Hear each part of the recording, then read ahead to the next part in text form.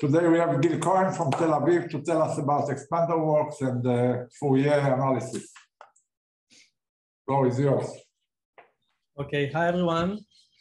Uh, yeah, so my name is Gil. Please feel free to interrupt me at any point, um, as if it, I was there. Uh, I'll talk about a joint walk, actually joint walks, one with uh, Noam Peri and Amnon Ta-Shma, and a follow-up with Dor Minzer, Shir Peleg, Aaron Potechin, and Amnon Ta-Shma.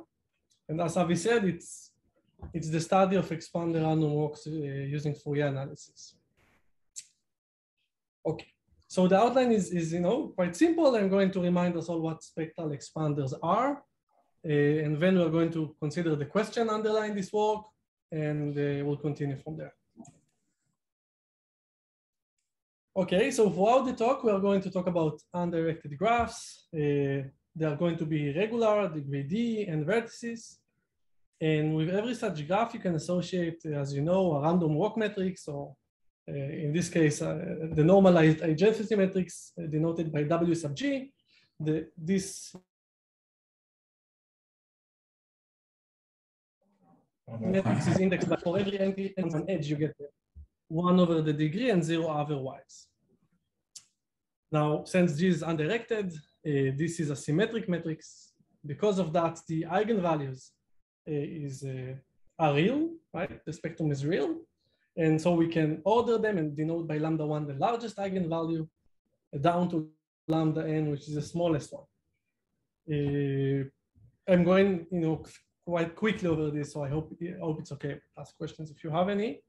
Uh, so because of the regularity, you know, you can easily show that the largest eigenvalue is one, and uh, you can also show that the smallest eigenvalue is at least minus one. This is uh, Perron-Frobenius.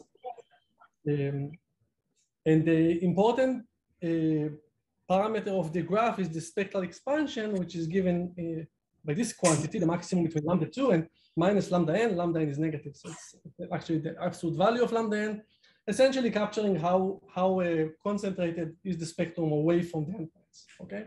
Away from one, uh, well, excluding lambda one, away from one and minus one. Now, I'm not going to go into, uh, you know, what, how, what, you know, to what extent lambda is important and so forth. You'll see it in the context of this talk, but I'll just say that the smaller lambda is, the better G is, okay, in a sense. So the smaller lambda is, the better is the edge expansion or vertex expansion of the graph. Uh, random walk, uh, random walks mixes mix quickly, and so forth. Uh, but the you know the thing you should have in mind that the smaller lambda is the better.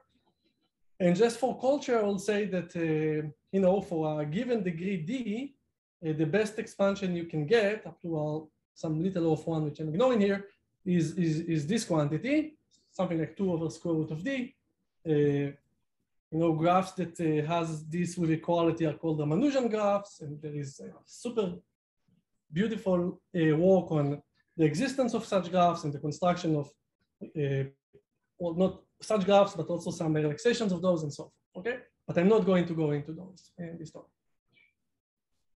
Any questions so far? Maybe just to, okay. So this talk is about expanded random walks. And expanded random walk, so by that I mean the following. Uh, you are uh, going to sample a vertex uniformly at random from the vertex set, and then every consecutive vertex is sampled uniformly at random from the neighbor set of the previous vertex. Right, so V1 is uniform from the from, on the vertex set, but V2 is uniform only on those D neighbors of V1. And we'll continue that for our length T random walk, T measured in vertices, and uh, these random walks, I just want to stress, are, you know, the vertices on a random walk are extremely correlated, right? So knowing V2, you have a pretty good guess on V3, especially if the degree is small. And you should think of the degree as a constant. Right, so the, the random walks are extremely correlated in the sense that, you know, the, uh, the, the different vertices, especially adjacent one, are extremely correlated. But nonetheless, uh, as we'll see in a second, there are classical results stating that despite those correlations, random walks has uh, kind of surprising, we're used to them, but surprising pseudo-random properties. Okay, now the meta question that we are trying to understand is, you know, to what extent this is true. So how random are random walk on expanders? Okay, that's kind of the meta question. We are going to formalize that. but you know, off the shelf, I can give you two results that you all probably know of, some of you know of, especially one, anyone who dealt with expanders have seen those. So these are the expander hitting property and the expander Chernoff bound. So the expander hitting property uh, tells you the following. It tells you that if, if this is the vertex set of the graph, and you have some uh, set S, subset of the vertices, then the probability that you get stuck within S, you know, the entire random walk will get stuck within S is bounded by this expression, where mu is the density of S, so number of vertices in S divided by number of vertices in the graph. And you should compare this with mu to the t, which is precisely the probability that this event will happen if it was the case that the VIs were independent and uniform. And that's kind of the ideal distribution that you are comparing yourself with. So despite the correlations between the different vertices, once lambda is comparable with, with mu, you get the same effect, right? You get this exponential decay in t, uh, which is, uh, again, we're very used to it, but it's a very surprising still. So this is one example.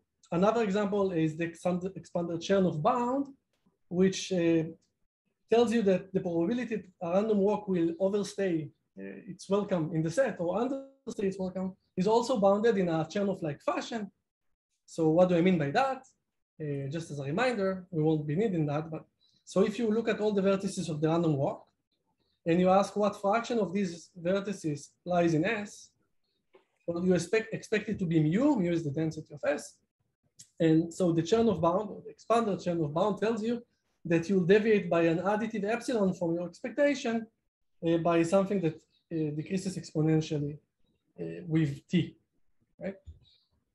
And the Chernoff bound looks exactly like that, but without the one minus lambda. It's actually the same constant C event that you have here. Uh, and you see once you once lambda is uh, bounded away from one, it doesn't even have to be small, just bounded away from one, you get, uh, despite the correlations, you get a Chernoff bound like that. It's very useful. Okay, so these are two results. I guess you all seen them, and that's why we don't have questions. But let me just ask still any questions so far? Maybe not question by comment. Uh, so one use of this is that you can save a lot on random bits using uh, using this expander random walks because the number of random bits you expand is roughly a constant per, per new sample, where if you are picking them independently, getting the same results, you would pay log the size of the graph to get a new sample. So this de-randomization is a, a, principal and important use of these uh, results. Right. And as you can guess, Avi, uh, maybe you, you would guess that the motivation for this work, which is not in the work itself, is uh, for de-randomization. Uh, but yes, yes, exactly. Uh, for example, also the INW generator takes this, uh, maybe the next, step, next step of what Avi said and so forth. Good. So now I can uh, phrase the question. Now, I really don't, these are two slides that I don't like so much because I'm just trying to formalize the question, but you know, there is also an art in that. So let's try to formalize the question that we asked. So the question that we asked, you know, uh, the meta question was how random are random walk on expander graphs? And so if you want to check how random is, is distribution, you test it, right? You apply functions to it and look what happens. Uh, and so the uh, halfway for formalizing towards formalizing the question is the following question, uh, which is again not completely formal. What test functions are fooled by an expander random walk? And let me formalize that. Uh, okay, so you know again, apologies for the formal formalism, but we really have to do that. So uh, again, we are looking at a graph as before, undirected irregular, and we are looking at a valuation or labeling of the vertices. And for simplicity, let's take it to be plus minus one. You can do any bounded labeling, but say plus minus one. So for a given graph and evaluation of the vertices of the graph, we define the random walk distribution, again, with respect to these two, uh, the graph and the evaluation. So this is a distribution on t plus minus one. So I call them t bits if you don't mind, t bits. And the way you sample this from this distribution is, uh, is as follows. You take a random walk, a lengthy random walk in the graph, and return the corresponding valuations. Right? You don't return the vertices, you just return what you saw, uh, the labels on the on the on the on the random walk. Uh, in the order of the walk. Okay, so now given that, uh, given a kind of a test function f, you, you can define the distinguishability of f, um, again with respect to g and val, as you know the difference between what happens when you feed f with this distribution that I was just telling you about versus what happens if you feed f with the ideal distribution. I like to call it the uniform distribution, but it's, it's kind of misleading. So the ideal distribution, and the ideal distribution is just, you know, sample t vertices uniformly at random and independently and return the corresponding labels. So for example, if the labeling val was uh, balanced, so same number of plus and minus ones, then really what this gives to f, this what this feeds to f are t uniform and independent bits. Right? Because uh, you pick a vertex and then you get the label, the only thing that's important is the, the bias of the label itself. Because you ignore the structure of the graph here. So this is kind of the ideal distribution, and this is the distribution we're trying to study. So we compare it to this ideal distribution. So this is a, the quantity that I'm, so I have in mind some function f, maybe it's parity, maybe it's, you know, whatever. So this distribution asks for the uh, distinguishability of f with respect to g and val, but we want a, a, kind of a uniform bound. So this is the actual definition. And again, apologies for the formalism. It will go away very quickly, but you really need to define what you're talking about. So uh, this is uh, just copied it from the previous slide, right? So given a, a graph G and a labeling for the vertices of the graph, given a test function, now you test, you know, how, how well this function uh, uh, distinguish between uh, the forced distribution and the kind of the ideal distribution. So the actual thing that you care about is, is a more uniform measure, as I said. So given lambda and mu uh, and the test function, we are going to define the distinguishability of f, or the lambda mu distinguishability of f, as the supremum over all of this expression that we talked about. But now you consider all graphs, all, all graphs that are, sorry, that are lambda spectral expanders of any size, right? Could be any size. And for every such graph, you take all valuations on the vertices of that graph that has a bias mu. Okay, so now you see really the the the uh, f got the front stage here, and and bounding this really says, uh, I, I, think it really captures uh, how well f uh, distinguishes between a random walk on a lambda spectral expander. By here I mean any lambda spectral expander of any size versus uh, the kind of Gil, what about the degree? Is the degree of the graphs uh, fixed as well, or is it? Uh, good question. No, so I so as long as the graph is regular and lambda spectral expander, it goes into this. Right.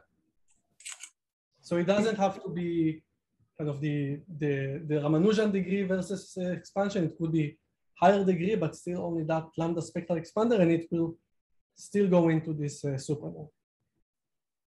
Uh, Gil, can you maybe say a little bit more when you talk about kind of uh, distinguishability? I would think that maybe the function f sees the vertices that are visited on the walk. course. I mean, that's impossible, but something like that. So why are you applying this? Why do you think it's natural to be applying this predicate at every step along the way and then evaluating it? Good, great, great. So, so I'm hearing, by the way, Guy or? Yes. Yes, good, good. I recognize your voice. So hi, Guy. Good. So yeah, I agree. That's um, uh, uh, it's maybe unclear at the beginning, but uh, if you'll allow me to go to the next slide, you'll see why we formalize it this way. Uh, and okay, so let's see that, and then we'll see if we have any questions. Uh, so what I'm just what I want to do now is to show you why or how the expander hitting property and also the expander Chernoff bound uh, can be cast into this formalization. Okay, in a natural way, a very natural way. So and that, I guess, will, uh, will uh, clarify the, why we chose this definition. So, so as a case study, let's look at the expander hitting property. Uh, right, recall it says, you know, what's you want to ask, what's the probability that your random walk got stuck in a set S? So uh, with this formalization that, that we just saw, this is really a question about uh, to what extent the AND function is being fooled by an expander random walk. And to see this, uh, the set S is encoded as, as the valuation. So maybe a plus one means you are in S and minus one means you're outside of S. That's information that the function get, and the function is the AND function which captures the you know the the event that all the all the work got stuck in S. Right. So the end function only needs the labeling because it only cares about whether or not the vertex was in the set. It doesn't care which uh, which vertex it visited. So so this is a, a so I mean this kind of framework that you only gives the predicate to the to the function, only the valuations uh, certainly captures the expander hitting property. Of course, we, we went backwards, right? But, uh, uh, and also just you know to see as an example, the expander Chernoff bound uh, can also be uh, expressed in this language. And now you are looking at the indicator function. Actually, I'm, I'm slightly cheating here. Here I'm using zero one rather than plus minus one. Okay, so forgive me, just makes it a little bit simpler. So now I'm now the, the Chernoff bound can be expressed as saying that this function is being fooled by expander random walk whatever bound that you get. And this function just measures to what extent, so it, it's a weight indicator function. So you look at the weight of the of the walk, the sum of the of the entries, assuming they're one or zero, and some of the labels, and you check that they're falling this interval that the Chernoff bound says should fall. Maybe to complete the answer to Guy, if you're allowed to look at the vertices, you could easily distinguish, even in the case t equals 2, this will distinguish between edges and random pairs of. I'm uh, just uh, wondering if there's something, you know, if you could frame a stronger requirement. It's a natural requirement to have. The requirement would be what is the range you allow the function, the valuation function to live in. Yeah. Yeah, no, but that, that's a good that's a good question. I mean, uh, it was uh, strong enough to capture these two results and also two other results I'll tell you about that are slightly maybe less known. Uh, but yeah, I mean, you should definitely. I mean, you can't go all the way. You can't see the vertices, but uh, yeah, you should. You you may want to think of other formalizations. But, okay. Okay, so let me tell you two other results. One of them is less known uh, when, within our community and is uh, very well known, but uh, less classical than, than, the previous two. So it turns out that even a kind of threshold functions, right? So you look at the, you sum the entries and check whether or not they, they meet some threshold k for any k between, I guess, minus t and t in our case, because you get t plus minus ones. So this threshold function is also fooled. I mean, we weren't aware of that actually. Is also fooled by an expanded random walk uh, with you know with this bound. So you get this one over square root of t bound, uh, and then uh, you know it's it's somewhat weak in the sense that once lambda is bounded away from one, you get a bound, but it, the bound doesn't improve with lambda. Okay, um, much. I mean, so going back for a second to the previous, oh, sorry, to the previous cases, you see the AND function kind of uh, hide or hidden uh, the, this hitting property and this function hit the Chernoff bound. And also this function uh, really in a sense hides uh, a central limit theorem for expander random walk with respect to CDF. But I, I won't I won't get into these uh, technicalities. Okay, I mean it's I, I, need to spend a couple of minutes just uh, saying what I mean. But you know this this thing comes from the probabilistic literature. You may recognize that because of the one over t if you if you if you if you know those. But uh, this is kind of, a, I think, kind of a deep result, okay? That expand expander chain of uh, expander random walks, uh, you get a central limit theorem with respect to the Kolmogorov distance or cumulative uh, density function. And for me, the most surprising result was uh, uh, Amnon's result. It's the, his paper is about something a bit, a bit different, but what as part of his proof, Amnon showed that even the extremely sensitive parity function is fooled by an expander random walk, right? So parity is like, it's like the least significant bit in, in, in this, the sum of entries that you see versus the most significant bit with Chernoff and hitting properties. So it's a very kind of sensitive information.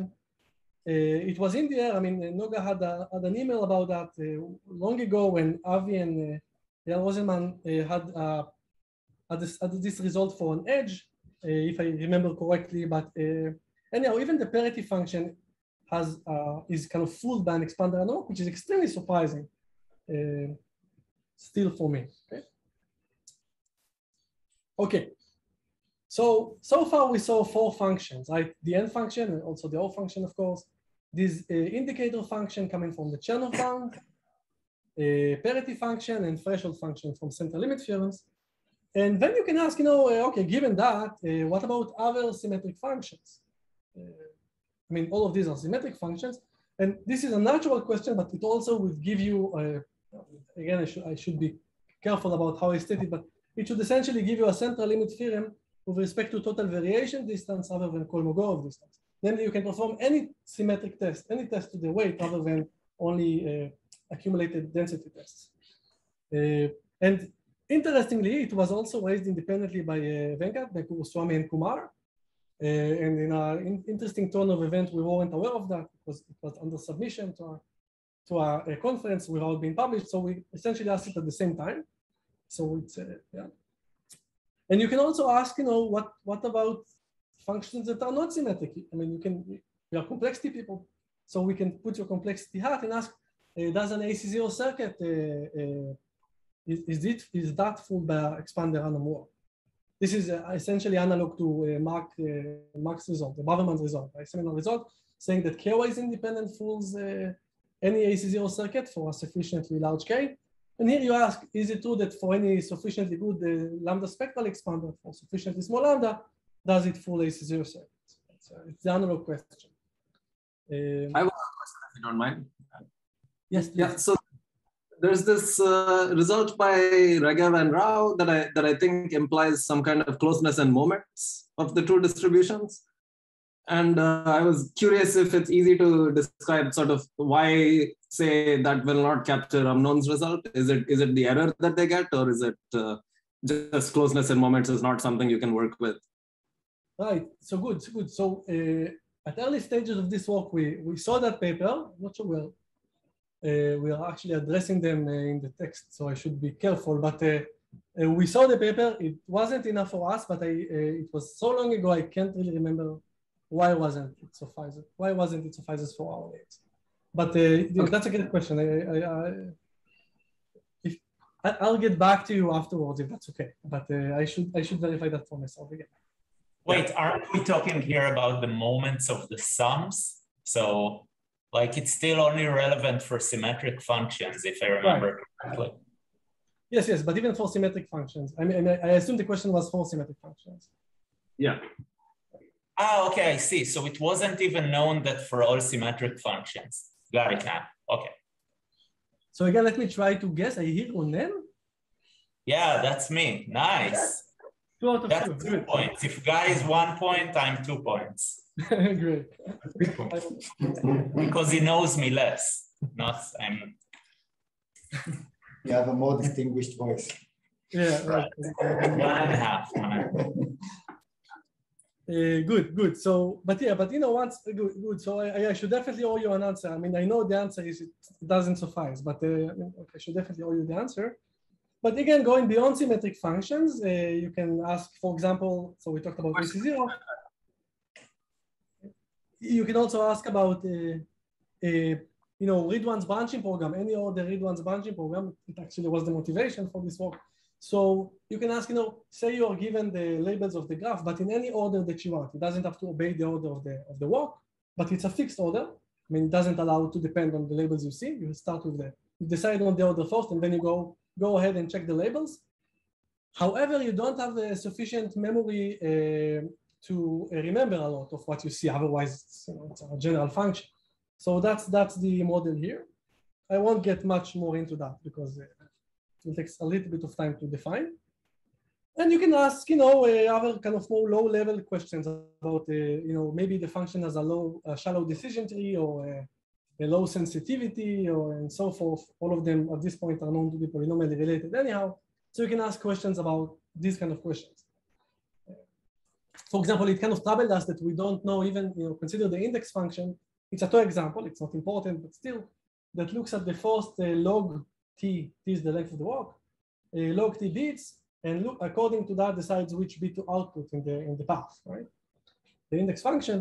Uh, it, it kind of annoyed us that we don't know whether uh, this is fooled by an expander random walk, just as a you know, as a sanity check or two example. So that goes into the low complexity also. Good. Uh, so let me just recap what we did. This was uh, the less favorite part of the talk, uh, in my opinion, but we had to do it. So we started with this meta question of, you know, how random are random walks on expanders? Then uh, slightly more formalizing that, we went to ask, you know, what test functions are filled by expander random walks? And the actual question is, you know, given a function, bound, bound this quantity, bound epsilon lambda mu of f. And again, as Guy said, you may you may formalize it differently, uh, but uh, yeah, I don't know. This this is the way we, we decided to go. Uh, okay, so some remarks. We are only going to consider for the rest of the talk the case of balanced labelings, just simpler. So we are going to assume u is zero. We have the same number of plus and minus one on the vertices of the graphs. Uh, and so, you know, we can also omit mu from the subscript. I'm going to start omitting things from subscripts now. So we are going to look at epsilon sub lambda.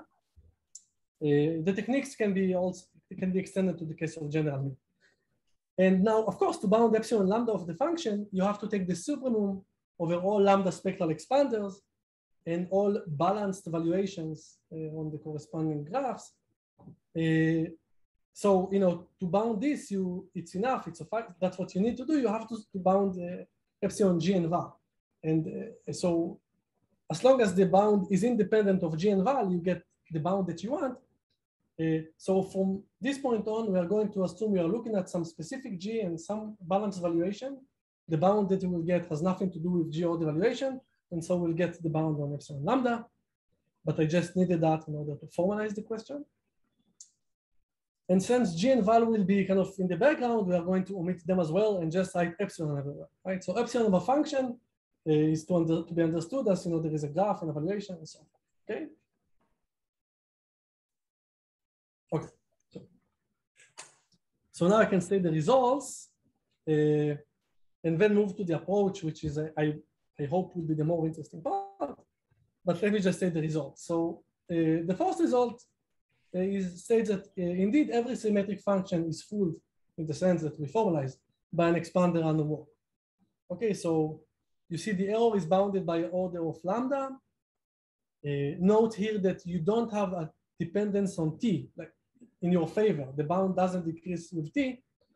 And uh, indeed, in the first work, we didn't know if it's tight or not. And in the second work, we showed that this is tight. So there is a symmetric function which doesn't enjoy uh, dependence on t. Okay, so uh, the bound is exactly, uh, is also omega of lambda for some symmetric functions.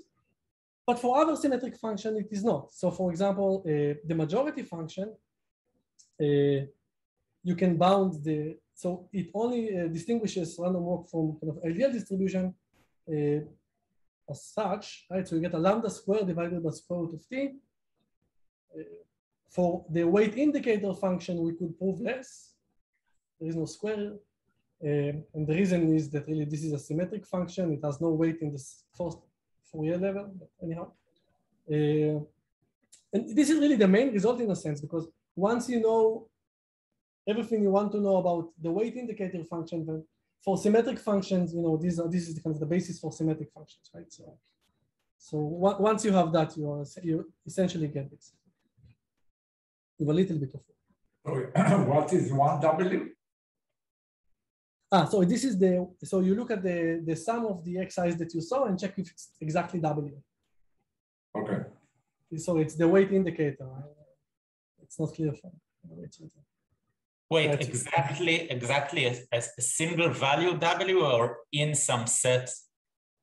Uh, just a single value, exactly, just a single value. Uh, so for example, uh, good. So for example, like, the, the thing is, the error you're looking at is additive, not multiplicative, right? So it could be that for any single value, I mean, some, some values are just very small, and that's the reason that the additive error is small, but there's really a multiplicative factor of 10 between the, you know, looking at the independent sequence and the random walk but that would not imply that for any subset, you see what I'm saying? Or am I, am I missing yeah, something? Yeah, I, no, no, you're, you're absolutely right. So we are looking at additive error And indeed, this is only interesting in the in kind of in the in the middle curve, right? Around around zero, because away from zero you got the Chernoff bound. It tells you again an additive bound. It, it, there's also a multiplicative bound, but there's an additive bound, and this kind of this is interesting in the middle. So, for example, up until that point, we were uh, unhappy with, because we didn't know uh, uh, what's the probability that if you take a walk, you get exactly the same number, for example, of zero, of plus and minus ones. Yeah, for example, this does not imply parity, like in particular. Exactly. Yes, exactly, exactly.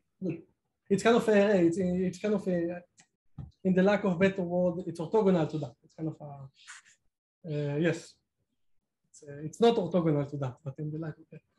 Um, good, yes. This is interesting only if you care about um, right functions that are symmetric, but uh, the interesting part is in the middle, uh, unlike parity, which is interesting. Do you, do you think it should be true in a multiplicative sense as well? Maybe I should keep that question for later.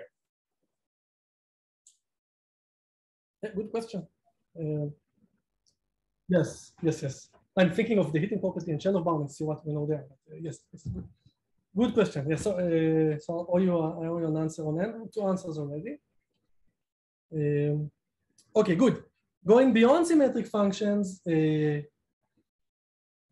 uh, so here, for example, there's more results, but two, two kind of uh, results are the following. So for AC0 circuits, if you have a function f that's computable by a size s depth d circuit, then you get this bound. The function cannot distinguish better than that bound.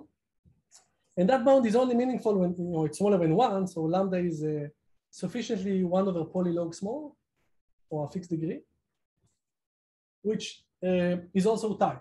Okay, so in the first paper we didn't know it, in the second paper we answered that, it was the main part of the second paper, that actually you can, I mean, there are AC0 functions, computable in AC0 functions that, uh, you know, will be able to distinguish between a walk with a constant lambda, so constant degree, versus uh, uh, the, ideal distribution. So you really need lambda to be one over polylog small, uh, which you know quantitatively reminds you of Braverman's result. K has to be also small, roughly roughly the same amount of small, and for similar reasons also we'll see.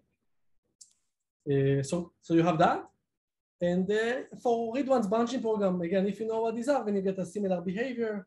Uh, w is the width of the program, which is roughly exponential of your memory. Uh, so once lambda is sufficiently one over polylog small, you, you can fool it. Here, I'm not sure if it's tight or not actually. So, and for permutation read once branching program, again, if you know what these are, there is uh, no, no dependence on T. Oh, sorry, Gil, I'm missing something. Uh, so the just the function that counts the number of consecutive ones. So I, the number of like pairs of consecutive ones in the sequence. So this function, obviously, you shouldn't be able to do anything with it because it like the random walk is very different than the just independent samples, right? Well, then you, you jumped to the last slide. Uh, one before last slide. Here. Good. Right, but uh, yeah, okay. exactly this function. I mean, this is AC zero. So what am I uh, missing? Uh, good, good. So it's you see there is a threshold here, which is not an AC zero circuit. AC zero mean you don't have. I mean, majority is not in AC zero. Thresholds are not in AC zero. This kind of the TC zero class. Ah, uh, so I can't just look at the sum because it has to be like a Boolean function. Yes, so I need exactly. to put a threshold and then this exactly. it. Okay. But that was very quick, and It took us more time to figure out this example. Uh, uh, good. But right, yeah, so but I'll maybe talk about it later, but you're completely right. Uh, but like your notion of AC0 completely ignores the like the order, right? It's like the function the function of the order of the bits matters a lot, but you just say if I can put it in some order, then in, ignore the order, then do AC0. Okay. Exactly, and, also it's, it's, not read once AC0, it's, you can read it multiple Read once has order in it. Uh, the, ah, read once, sure. AC zero, there's only one definition. and- Yeah, yeah, yeah. Sure, sure, sure. Just making sure I understand. Right, yeah, right. Here you can read more than once, here you can read only once, but in any order. Good. Um, but uh, yeah, uh, kudos on the catch on the dysfunction. So you cannot fool them all. That's what Ronen said. I mean. Obviously, the worst function, right? To just count how many times the current one is like the previous one. Exactly. Yes.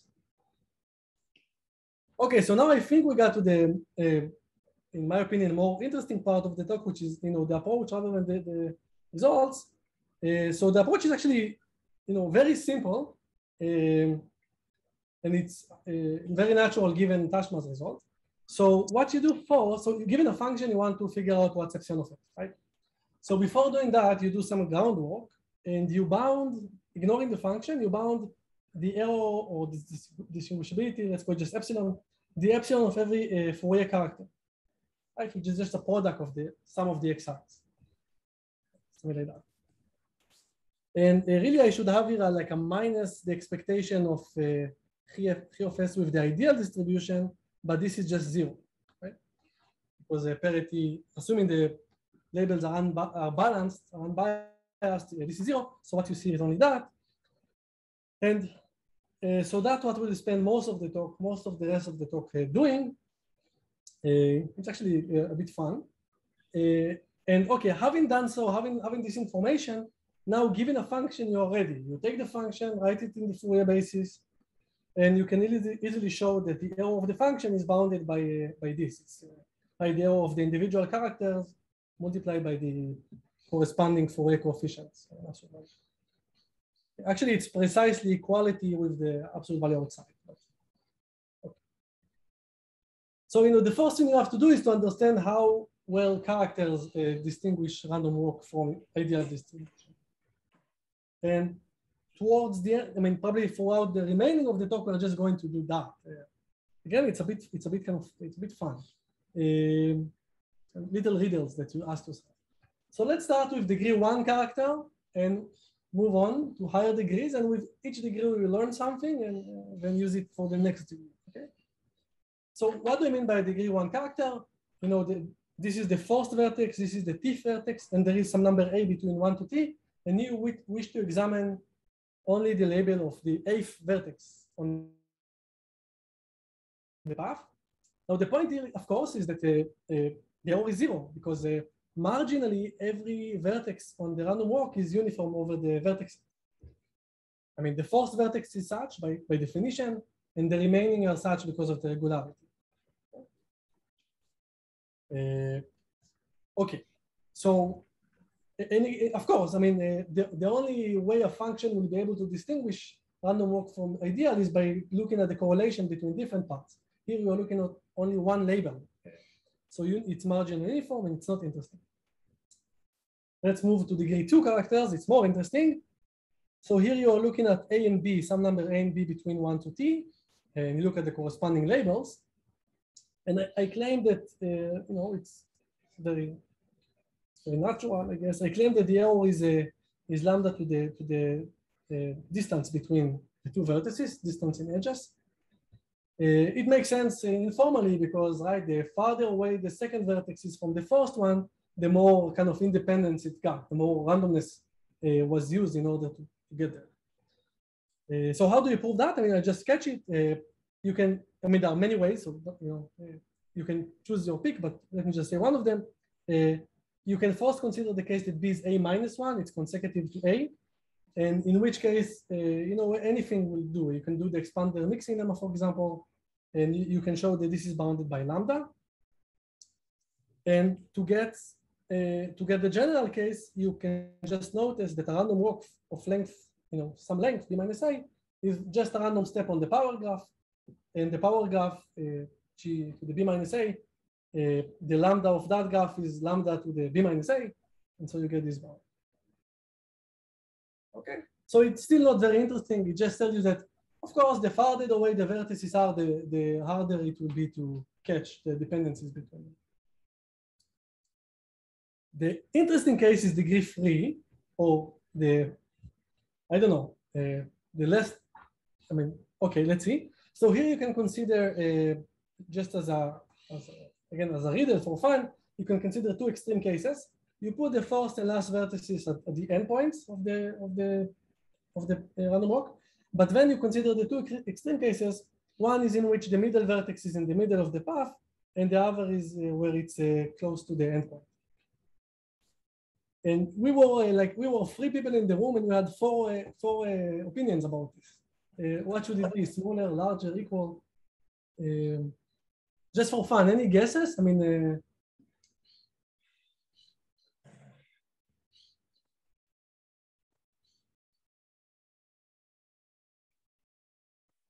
Right one is bigger. Which one, Yuval? Uh, right one. The one Yeah, with the one one. and two adjacent. Ah, uh, sorry, this one. This is right. Yes, good. So, uh, right. So you uh, can I can I explain your answer? You're probably saying you know these will cause correlations, uh, and Right. then you know.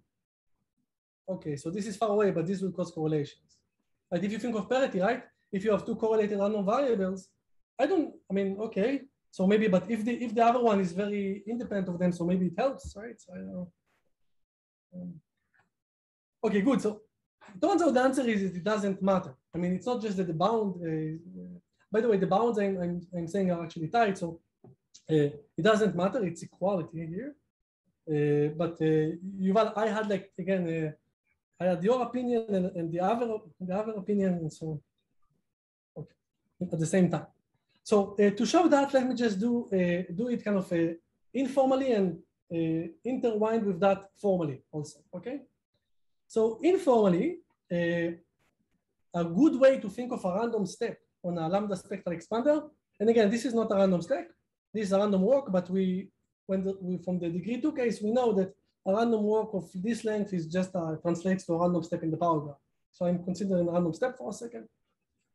So a random step on the lambda spectral expander, and this is informal, incorrect, and so forth, but it's useful.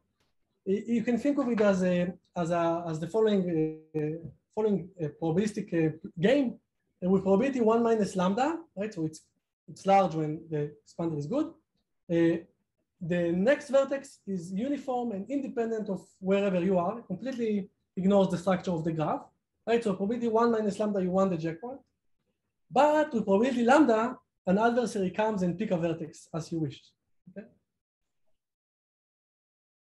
So formally, this this is what you can you can write. Formally, you can uh, you can decompose the the matrix corresponding to G, uh, writing it as J plus E. J is the good matrix. It's the matrix that corresponds to the clique with self loops. The matrix that corresponds to independent samples, right? So it's the all one over n matrix. And E is the kind of the error or adversary matrix. Uh, and what you know about it is that uh, it has a bounded spectral norm. Uh, It's bounded spectral norm by lambda. And the spectral norm is, you know, it doesn't really matter for us now, but it's just uh, to what extent E can stretch uh, unit, vect unit vectors in the Euclidean. Okay. So again, so you can you see uh, purple is like in blue is good, red is bad, and this is uh, something in the middle. So every every such uh, every expander can be expressed like that. Uh, this is really just the spectral the, decomposition field. Uh, but let's ignore that for a second and move using the informal argument to uh, informally show that the bound doesn't uh, care about where B is.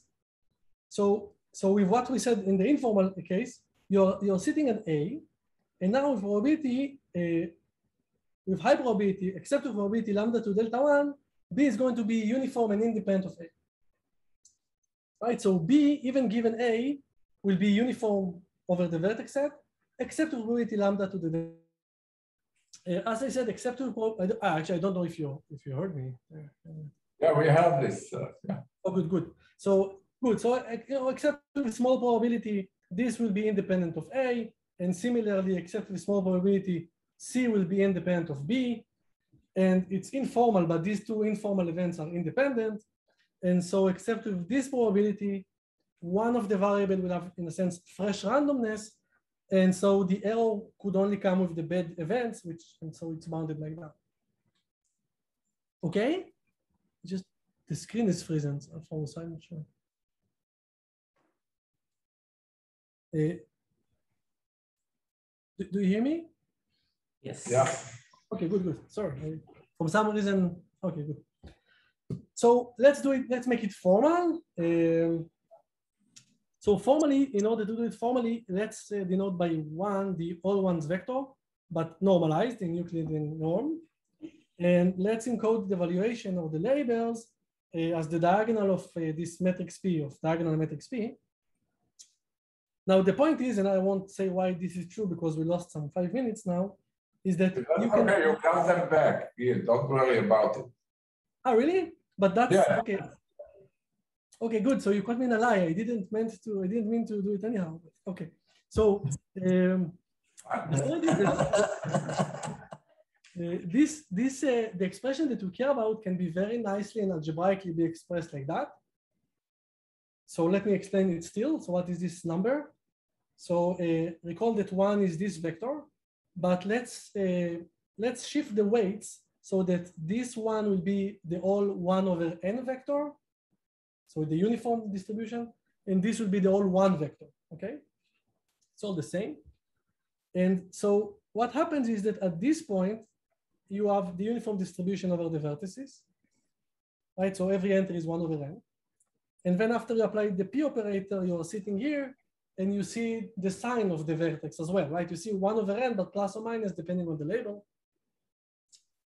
And this operator, after, after you apply the random walk operator, what happens is that every vertex gets like the average of plus minus one, one over n from its neighbors. So it's kind of the bias of its neighbors up to this one over n. And after this operator, it multiplies it with its value. So this is kind of taking the parity of me and a, random edge, a random neighbor of me. So the, the information stored after this step at a vertex is the average of parities of me and a, a random random neighbor, which is essentially a, length one random walk in terms of edges. And you continue doing that, eventually collecting all the all the terms. Okay, so that's it's it's not a proof. It, it may not be clear, but uh, hopefully it uh, you know it tells you why these kind of p's in the middle interrupting the random walk in the middle are, are, are uh, sensible. By the way, when you prove the expander Chernoff bound, you also have these p's, but uh, it's a diagonal matrix, but it's not a plus minus one. It's a value that's very close to one. And when you do the hitting property, there are several ways. You can do it also like that with one and zeros in the diagonal and so forth. So it's, okay. Now the point is that because every W or every W to the delta I is a con combination of a, of a good part and a bad part, you can actually open this up to four different uh, summands. So this is what I did here. And uh, I claim that uh, uh, only this one survives uh, because JP1, which appears here, here, and here in transpose is zero. It's the zero vector. And to see that, just note that J is the outer product of one with itself. And by associativity, you get this number sitting here.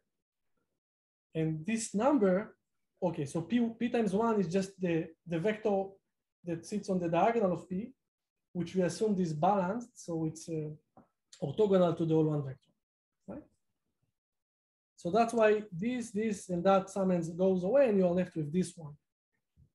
This kind of, this, uh, this formalizes what we said. We said that, uh, you know, with probability one minus lambda, essentially you have a J here. You have the, you have a, you're, you're kind of, a, you're independent of what happened before and, and this kills the expression. But in any case, the expression that we care about, which is uh, the absolute value of this thing, uh, so the expression, this expression is just that expression, that number. And so taking absolute values here, uh, you get uh, this bound, right? The, the, absolute value of this thing is bounded by the spectral norm. That's essentially by definition. So you get a bound on the error on a, of, of this character uh, as this norm. And since the spectral norm is uh, multiplicative, then, uh, and since the norm of P is one, because just plus minus one entries on the diagonal, you get that this norm is the, is bound, is equal to the norm of E1 and E2 is E1 and E2, which is lambda to the delta one and lambda to the delta two. So degree three characters, uh, I think it's sli slightly surprising, I don't know, that you don't care where B sits, it, it will behave anyhow the same. And, and again, this is not just a bound, it's also type. So there are expanders which will give you n valuation, which will give you this answer. Okay, so it's the, the true behavior. Uh, any question? I'm, I'm mostly asking because I don't hear anything, so I'm. Well, yeah, uh, nobody's asking. Good, good. I mean, I hope it's good. Uh, oh, what's this here? How do I remove that one? Okay, let's do this. Yes. Uh, okay, degree four characters are actually more interesting, but now we are going to use everything we learned from degree two and three. So in a degree four character, uh, right, you have A, B, C, and D sitting between one to T. And let's denote by the delta i's the differences between them. The thing that I uh, uh, is, you know, informally proved, I don't know, in the previous slide can be extended, of course, to degree four, namely to a length four random walk in, in, in vertices. And what we saw in the degree three case is that, uh, well, in general, you should replace this by either E or J, you will have eight options. Uh, but you cannot put J in the extreme in the extremes because it will cause you a JP1, which is zero, the zero vector. So really, you can replace this only by E and that only by E, and that I keep as is. I'm not even bothering uh, replacing with an E or J. And so the bound that you get is, is this thing, again, because the absolute value of this is smaller than the spectral norm. And because, and so what we gain is uh, delta one and delta three, but we do not gain delta two, right? And again, this tight is bound, this bound is tight, right? So you should ask yourself, maybe you can do better, but actually you cannot. And this teaches you something uh, I think nice, teaches you that this is a worse example than that. So if you have four vertices and you want to distinguish between random walk and ideal distribution, you better pair the, the vertices and uh, it doesn't really matter where you pair them. It will be just lambda squared. Uh, uh, you know, compared to that thing, which, uh, I mean, you pair the middle ones, but you see you get a bound that uh, decreases with t. Let's do degree five also, okay? Uh, I had some time. So for degree five, you get, you have like four deltas. And so I wrote here the operator. And below the operator, I wrote uh, whether I'm taking an E or a J uh, for that specific W. So we know that in the extreme case, we have to take E's. And, but other than that, we have four options here. Now, the next thing, and this is why we move to degree five, the next thing, the, the actually important thing is that I claim that this thing uh, goes away. You can't have two J's, uh, consecutive J's. I mean, it will contribute zero to the error. And the reason is that G pay G is the zero matrix, right? Because G pay G as a matrix, you replace J with, sorry, J, I mean, I mean J, is replaced with the outer uh, product of one with itself, use again associativity, and this is a, the zero number.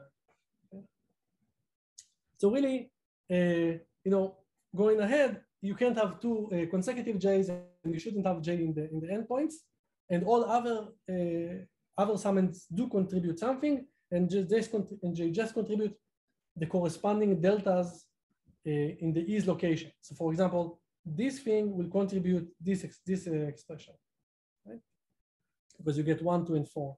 This will give you one, three, and four, which is uh, incomparable. And this is smaller, right? Because uh, the is here is a superset of the is above, right? So the so this will contribute, for example, lambda to the delta squared more than this one. So anyhow, the bound you get is this, but you can kind of ignore that. So that's what we're going to do moving forward. And you see that the bound is essentially this, up to some small, you know, say factor of two even. Uh, so here too, you see that uh, this is the behavior. It's actually the tight behavior.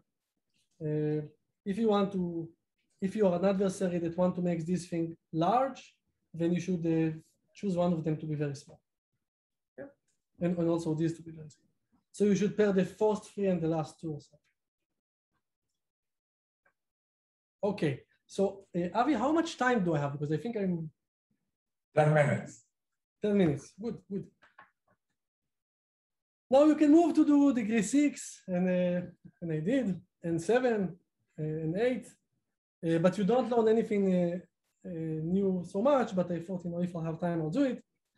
Uh, maybe just for degree six, again, I replaced just to so that you'll feel comfortable with the definition coming afterwards.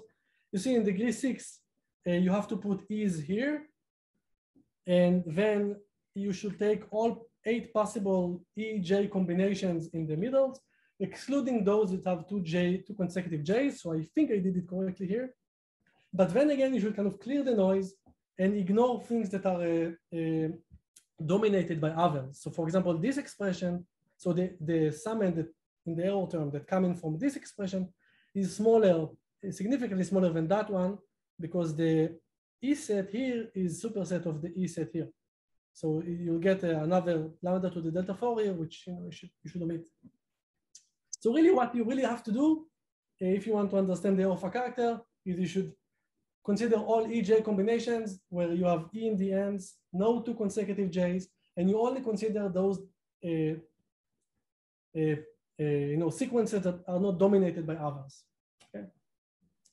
Uh, so for example, here we got that, and you know up to some constant factor, that's the right answer. It doesn't. I don't. It's not really important what the answer is, but that's what it is.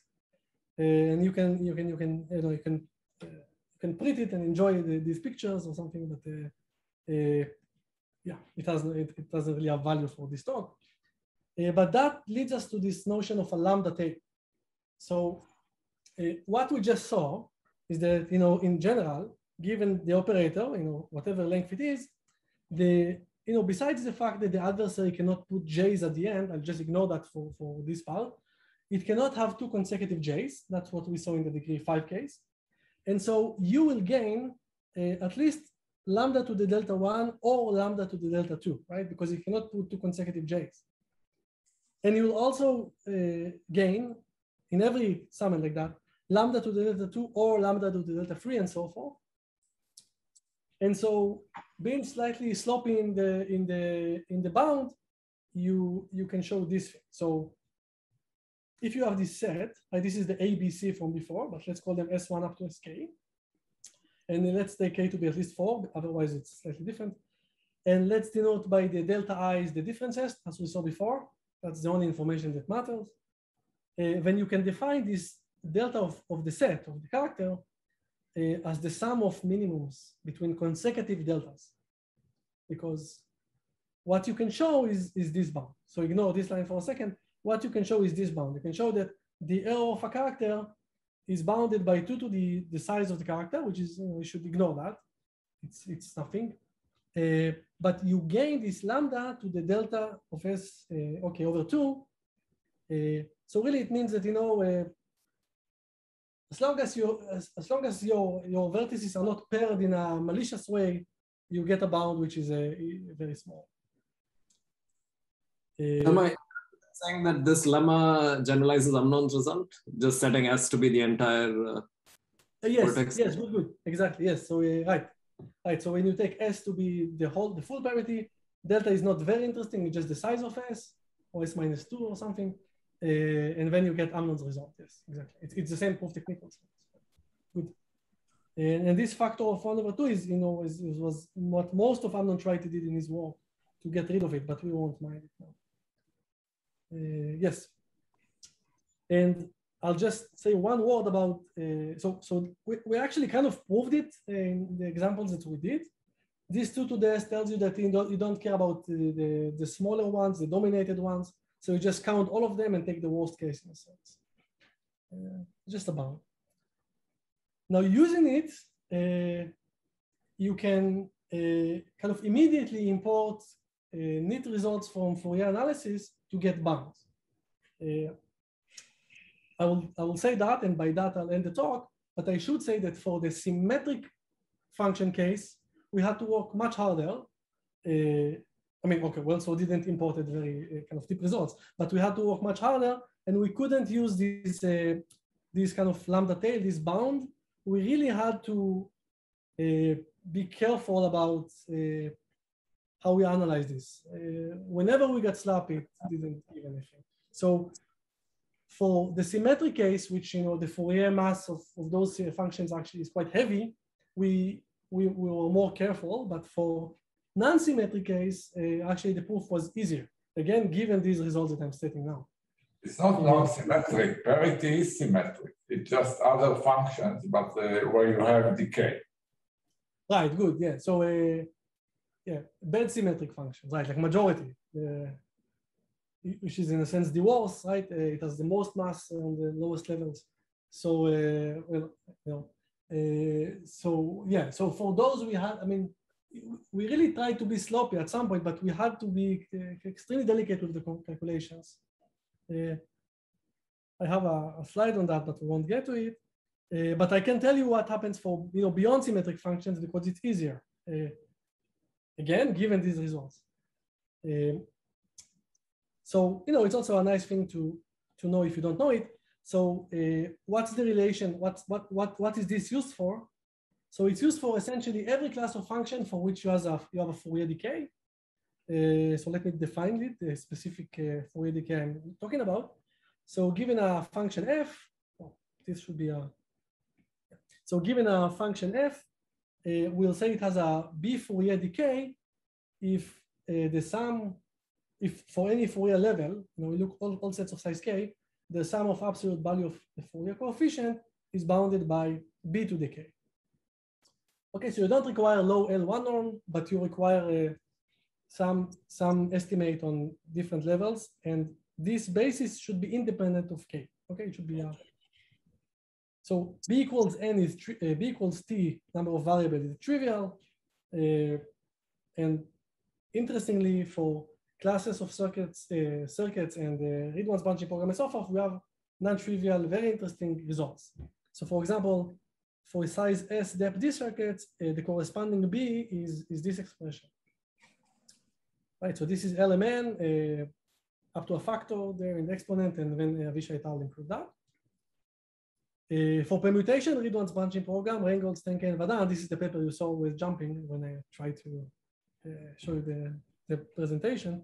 Uh, they proved the bound, which is the roughly W squared, and they conjecture the bound for the general case, for general read-once branching program, and this was proved by Ishan, by Chattopadhyay, Hatami, Reingold, and. Uh, and you can easily show that, for example, B is always bounded, say, by the decision tree complexity of the function. And so, so you have interesting classes like that. And I just copied the definition again here.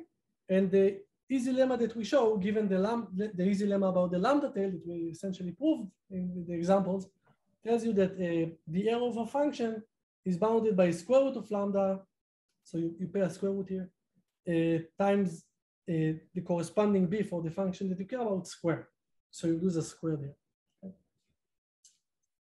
Uh, and from that, you, you, the, the, import is, is trivial, right? You can just you get all the results. Uh, Okay, so I guess I should move to summarizing the talk because I won't be able to talk about the symmetric case. Right, Avi? I guess I have like two minutes left or something. Yeah, two minutes. Good. So, so if you would be interested, you can uh, you can check the the paper for the symmetric case. It was it was really much harder. I mean, uh, but again, we didn't use known results. Uh, so let me just summarize and say that uh, you know uh, the two results that we showed is I mean two kind of main results we show is that expand the random walk full all symmetric functions. This is essentially a central limit theorem, but I don't want to get into the technical details, so I'm just we'll leave it as that. And uh, maybe I think, in my opinion, more interestingly is that now you have this uh, kind of a gate between uh, Fourier analysis and expander random walks that will tell you that you can uh, import results from Fourier analysis, uh, in particular showing the strong Fourier decay that are known and really interesting, gives you uh, immediate, immediately results about uh, how well these classes of function are fooled by random walk expanded graphs, uh, which was, uh, which was, I mean, we didn't know that. I mean, we, it was, yeah. So open problems that are, you know, in increasing order of interest Uh, to me is the tightness. The bounds are not tight. Uh, they are tight up to polynomial factor, but they are not tight. Uh, much like Avishai did to LMN it will be interesting to get them tighter. But I think more interesting is this notion, or I don't know, I don't want to call it notion, of tailor-made expanders. Right, so this tells you, you know, if you want to full AC zero circuits, any spectral expander will do, assuming lambda is sufficiently small. But you know, if you know you want to full AC0 circuits, or if you know you want to full parity functions, etc., uh, then maybe you should you shouldn't take an off-the-shelf expander and you should construct an AC0 expander, right, and so forth. So in a sense, it's not accurate, but in a sense, this was the breakthrough of Amnon, who didn't took a random walk on an expander. He took a he, he didn't took an expander, a special expander, but he took a, a, a special random walk on a special expander. Okay, um, to get uh, his result about uh, small bias. Uh, so I'm asking kind of the analog questions here. And the most interesting problem, and it was the motivation for this work from the beginning, was these applications. So we delved into this project because we tried to de-randomize BPL, you know, as everyone. Uh, and uh, so this kind of line of work took us to a different uh, avenue, but you know, are there any other applications uh, to these results? Okay, thank you. Uh, Thanks, Gil. Uh, Questions to Gil? So I couldn't hear anything actually. So I have a question, Gil. And No questions? Yes, sorry, you get. Uh, uh, I uh, wonder, any chance of deriving Braverman's result from this kind of approach? This is fooling uh, AC0 circuit uh, using k-wise independence, polylog-wise independence distribution. So you want to ask uh, how what's the relationship between random walks with one over polylog uh, lambda and uh, polylog-wise independence? Yeah, I mean, on, on the top of my head, I will say that these are very kind of different distributions, but uh, I mean, different, different, they are very different nature, but uh, yeah, actually, uh, um, yeah, okay. So I, I, I, it's very interesting, but I, I, I don't know, and uh, if, if my guess is that these are very different distributions. So uh, um, so may, so I wouldn't be optimistic, uh, but I, but I, but that, that's that's uh, something to think about. Any more questions? Okay, example- again. Yeah. Sorry, for example, just I, I should say, uh, you know, k-wise independence, independence doesn't uh, a general k-wise independence doesn't fool a parity function. Yeah, yeah, but I asked whether your result implies Braverman's. Okay. Uh, But you don't have to answer now. You can answer me tomorrow. right, good. Yeah. So good, good question. I, Okay, thanks a lot, Gil. thank you very much.